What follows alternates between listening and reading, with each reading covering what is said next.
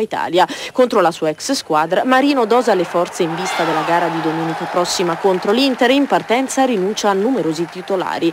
Dopo dieci minuti il gol arriva da un difensore, è Ferronetti a beffare la retro